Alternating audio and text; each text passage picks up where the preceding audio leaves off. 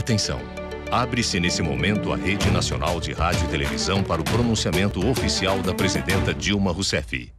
Queridos brasileiros, queridas brasileiras, hoje, Dia Internacional da Mulher, é uma data ideal para uma presidenta falar com suas irmãs brasileiras de coração aberto, de mulher para mulher.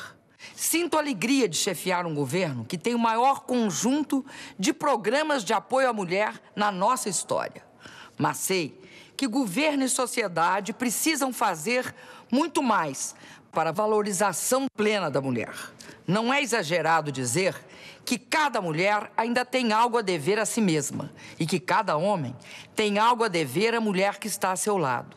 Nós, mulheres, vamos continuar em dívida com a gente mesmo se aceitarmos passivamente certa herança negativa que ainda temos sobre os ombros. Cada homem vai continuar em dívida consigo mesmo se não olhar com igualdade, com respeito e com amor sua mulher, sua mãe, sua irmã ou sua filha. A luta pela valorização da mulher é, portanto, um dever de todos brasileiras e brasileiros de todas as classes, de todos os credos, de todas as raças e de todas as regiões do país.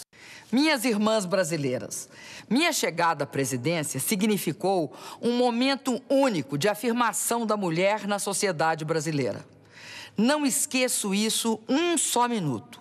E sei que nenhuma de vocês esquece disso quando olha para mim. Minha eleição reforçou, em alguns setores da sociedade, uma tendência de enaltecimento da força da mulher. Não podemos aceitar o falso triunfalismo, mas também não devemos nos render ao amargor derrotista. Sei que uma mulher que chegou à presidência com milhões de votos de brasileiros e de brasileiras não poderá jamais ter uma atitude ressentida contra os homens. Mas sei muito especialmente que uma presidenta não pode ter uma política tímida, ultrapassada e meramente compensatória para as mulheres. Hoje, somos no Brasil 97 milhões de mulheres, ou seja, 51% da população. 40% das nossas famílias são chefiadas atualmente por mulheres, quando, 10 anos atrás, não passavam de 25%.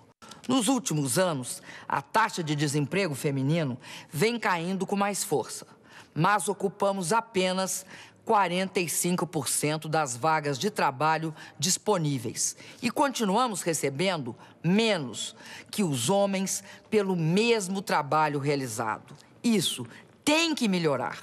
O pior é que, em certas circunstâncias, a mulher continua sendo a mais pobre dos pobres, a mais sofredora entre os sofredores. Mas até aí nos surpreende a força da mulher. Porque, mesmo quando está em uma dura condição de pobreza, a mulher é a principal mola de propulsão para vencer a miséria. Sabe por quê? Porque ela é o centro da família. Porque quando uma mulher se ergue, nunca se ergue sozinha. Ela levanta junto seu companheiro, ela levanta junto seus filhos, ela fortalece toda a família. Vem daí a importância que damos à mulher nos nossos programas sociais. 93% dos cartões do Bolsa Família estão, por exemplo, em nome de mulheres. São mais de 19 milhões de mulheres que vão ao banco todo mês, buscar e administrar recursos para ajudar no sustento da família. 47% dos contratos da primeira etapa do Minha Casa Minha Vida foram assinados por mulheres. Esse percentual será ainda maior no Minha Casa Minha Vida 2. Nele, a escritura dos apartamentos populares será feita em nome da mulher. Minhas amigas e meus amigos, a mulher é um ser empreendedor. Precisa, portanto, de oportunidades. A mulher é uma pessoa, antes de tudo, dedicada e trabalhadora. Precisa, portanto, de emprego e de capacitação para o trabalho. Temos estimulado programas de capacitação, microcrédito e igualdade no emprego. Temos procurado apoiar a luta das mulheres em todas as áreas, sejam elas cientistas, profissionais liberais, operárias ou empregadas domésticas. O programa Mulheres Mil está garantindo formação profissional e tecnológica para inserção de milhares de mulheres no mercado de trabalho até 2014. E para dar mais autonomia de trabalho às mães pobres do Brasil, estamos construindo até 2014 6 mil novas creches e pré-escolas. A mulher é, por natureza, fonte de vida e de energia. Mas para cumprir este destino, ela precisa de boa saúde. O nosso governo tem dado e vai continuar dando uma atenção toda especial à saúde da mulher e da criança. Criamos o Rede Cegonha, que já beneficiou 930 mil gestantes em mais de 1.500 municípios.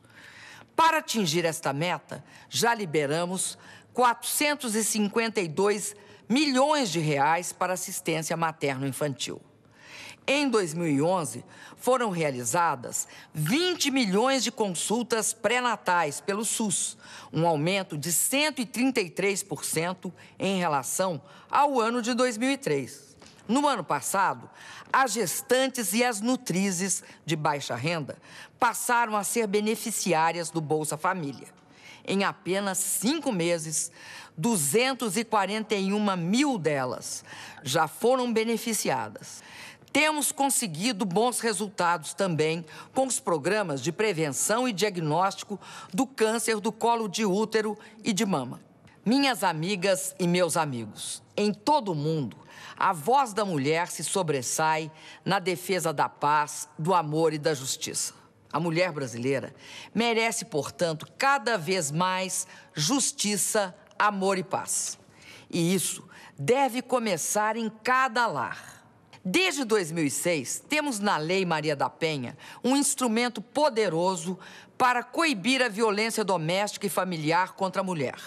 Há poucos dias, o Supremo Tribunal Federal fortaleceu o combate à violência doméstica ao decidir que, se um homem agredir uma mulher, será processado, mesmo que ela não apresente denúncia e mesmo que ela retire a queixa.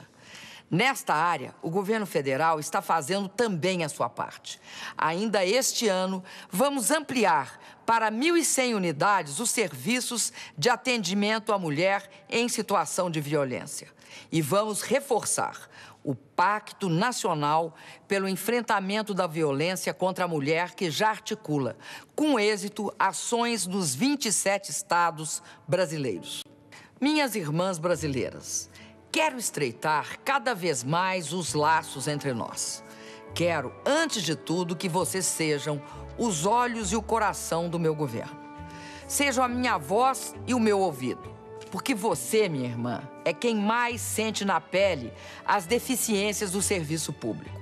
Quando leva seu filho ao hospital, você vê como está o atendimento de saúde. Você acompanha a escola do seu filho. Você vê no supermercado se o preço da comida está subindo. Você sente medo nas suas escuras quando volta do trabalho sozinha, sem segurança. Quero abrir vários canais de escuta da população, em especial com as mulheres. Pedi ao Ministério da Saúde que, a partir de agora, telefone para todas as parturientes que foram atendidas pelo SUS e perguntem o que elas acharam do atendimento. Quero saber de tudo para melhorar, para poder estimular o que está bem e corrigir o que está mal. Vou ter também no meu gabinete monitores ligados a câmeras para que eu e meus assessores possamos ver como está o atendimento nos principais hospitais e como vai o andamento das grandes obras. É assim que nós mulheres gostamos de cuidar das coisas, vendo todos os detalhes, tintim por tintim. É fundamental que todas vocês me ajudem nesse trabalho. Acreditem, como eu acredito, que a participação é o melhor caminho para mudar o país. Participem da vida do seu bairro, da sua cidade, do seu estado e da sua nação. Se mobilizem. Já disse que este é o século das mulheres. Mas não é o século das mulheres contra os homens. É o século da mulher trabalhando ao lado do homem, de igual para igual, batalhando com fé e amor por sua família e por seu país. Viva o Dia Internacional da Mulher, viva a mulher brasileira. Obrigada, boa noite. Brasil, país rico é país sem pobreza.